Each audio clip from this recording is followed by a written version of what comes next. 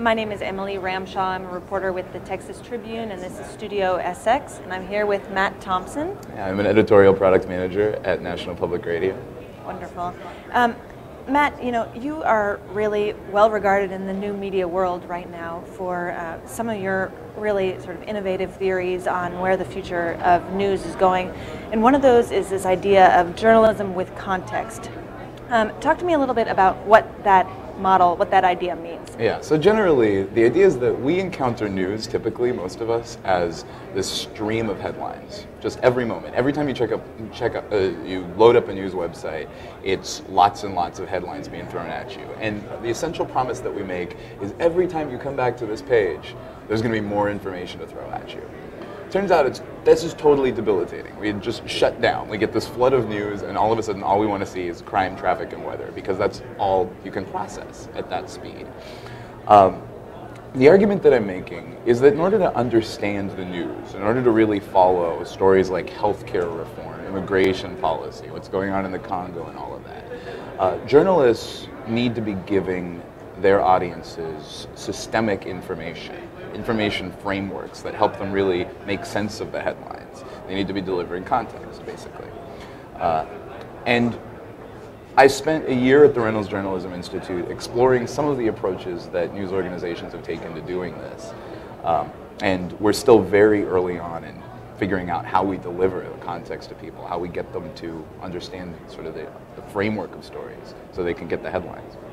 And tell me a little bit about who you've seen who's doing this well, uh, maybe who you've seen who's tried this out and it, and it hasn't worked so well. I mean, this is not um, an easy thing to jump into if you're in the traditional news media mindset of you know inverted pyramid stories, breaking news at the top, maybe a nut graph of context in the story. I mean, that's a totally different model from what you're talking about. Yeah. So one of the things that was really interesting to me, actually, I called my fellowship proposal for the Reynolds Journalism Institute Wikipedia-ing the news because I thought that one of the place, one of the sites that was really inspirational for how we could approach how information should be structured differently from the web than it is on in print or on the air uh, is uh, Wikipedia.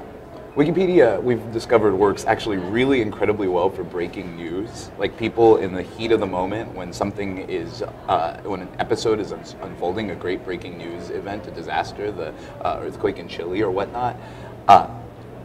Wikipedia is often the first place that people look to sort of pull all the information together in the heat of the moment, to synthesize it. It's one place to go to figure out what's gone on, what's happening. But then we also know, we've discovered, that people turn to Wikipedia long after the, the headlines have faded, long after an issue is no longer the top of the news cycle, to get the sort of, okay, what went on, get the background get the full understanding of the story. Right, the backstory. So I think Wikipedia is really interesting to us, and uh, a lot of news organizations, I think probably most notably the Texas Tribune, your organization, and the New York Times, are two organizations that have really aggressively tried to experiment around this idea of creating topic pages around subjects, around stories, um, providing a place that's kind of the first, the one-stop shop for a, a story, an unfolding story where people can go for information about it. Well, you know, it's interesting. We have been trying this out a lot at the Texas Tribune, this idea of topics pages where, you know, mini Wikipedias for Texas issues. Um, the challenges that are presented in these scenarios are, you know, traditional journalists want to break the story. They don't want to take the time and the effort to sort of, you know, put together the backstory, write the encyclopedia entry. Um, how does this work in, in a real newsroom? You know, do you have to shift the idea from reporters writing stories to reporters writing context?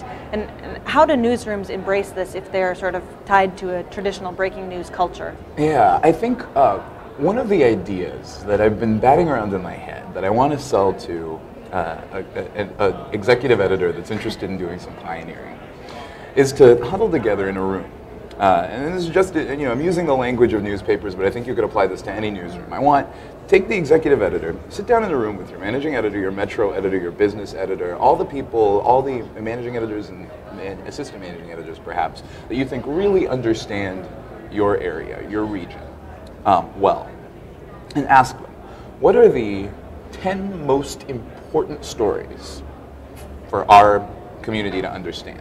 What are the 10 things, the 10 things that are unfolding at a high level, things that are going to be unfolding over the next few years? Right, you'll see breaking news on these stories Right, consistently. consistently over the next few years. What are the 10 most important ones for people to understand? And then figure out who's the subject matter expert for each of those in your newsroom. Who's the beat reporter that knows if one of the stories is transportation, how your city transportation system is being developed, a big highway project that's going to fundamentally change the nature of the city. Who's the beat reporter that can tell that story best? Give them a month. You know, they're doing their other job, but on the side, take a few hours every day, every week, and start constructing the most compelling synthesis of that story, of what's going on in that story that they possibly can. Think about it in multiple formats. If you publish a newspaper, what's the most compelling story that you can produce in print? It's just going to be the absolute best Sunday A1 feature. Right. What's the best encapsulation of that story that you can present online? Um, so do that for 10 stories. And each month, unveil one of these and spend the rest of that month selling the heck out of that story. And at the end of at the end of the process, you've got a list. Top 10 stories you should be paying attention to right now. Start selling the heck out of your list and make your audience a promise that you're going to pursue each of those stories over time. I think that's one way to handle it. Breaking out. And uh, is this curated? I mean, is the idea that these this would be automated, you know, so that as stories were written, uh, you know, it would aggregate automatically, or is the idea that you need to have, you know, a specialist, a real human being who's making sure these these entries, you know, are, are complete and are valuable? So Wikipedia pages, topic pages, this is a totally new thing for the news industry. We don't know how it works at all. So I think that the process of developing this idea needs to look like any sort of product development process. When you're building any product in any company, you start with prototypes. You start, you make 50 things out of basically duct tape and wire before you can build a factory, before you can extract how, what, what parts of this can we automate and can we make more efficient? And you can extract that and make a factory out of it.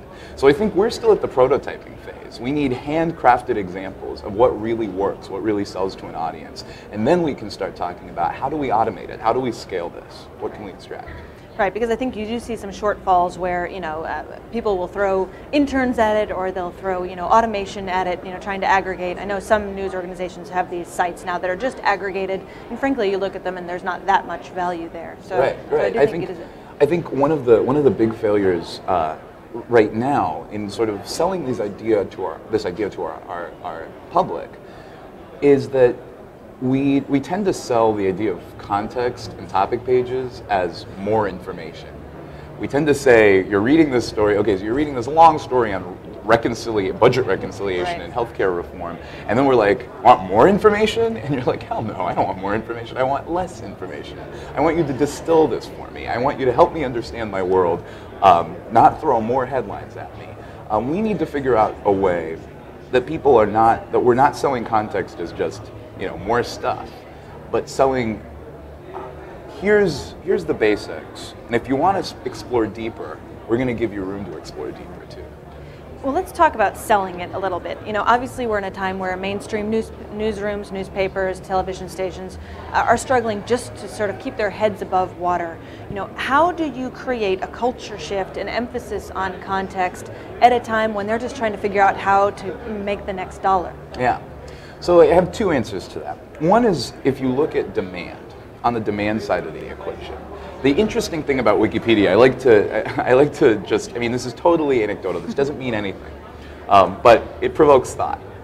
In 2006, Jimmy Wales said that 1,400 people all around the world contributed seven. Jimmy Wales is the head of the Wikimedia Foundation that produces Wikipedia. Said that 1,400 people all around the world contributed 75% of the edits that composed Wikipedia. Just 1,400 people made up three quarters of Wikipedia. At the time, the New York Times newsroom was also about 1,400 people. All right?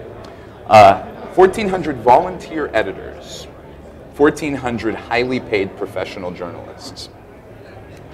Uh, Wikipedia's traffic and New York Times, the, the New York Times traffic is right about here, Wikipedia's traffic is right about here.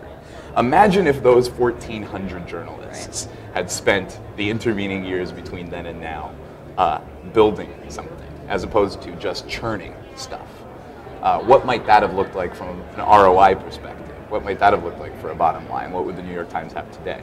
I'm really interested in that side of the question. And secondly, uh, Google has been selling this idea to publishers as well. Google knows more about monetizing content on the web probably than any other organization uh, in existence right now.